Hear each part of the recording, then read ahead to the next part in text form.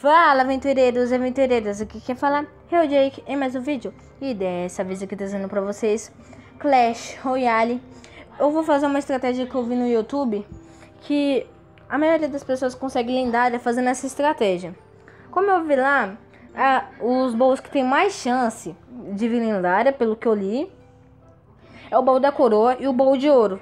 E muita gente tá fazendo essa estratégia de preencher os quatro é, espaços de baú de ouro e ainda abre os baús grátis. E ainda o baú da coroa. E vim uma lendária.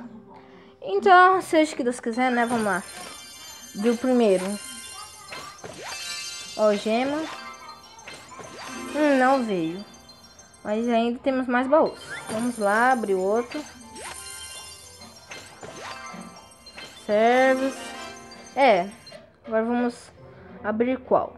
Eu vou abrir o primeiro do, o de ouro. Vamos lá no de ouro.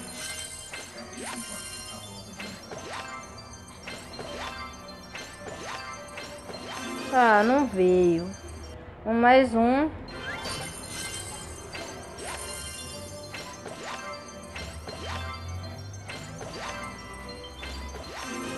Não veio de novo, velho. Será que não vai vir?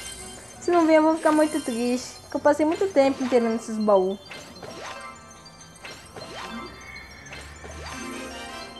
Ah, velho. É o último. O penúltimo. Ih, velho, acho que não vai vir.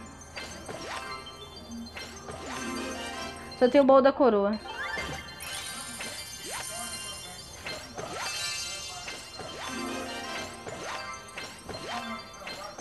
Ah, mano, eu achei que ia vir.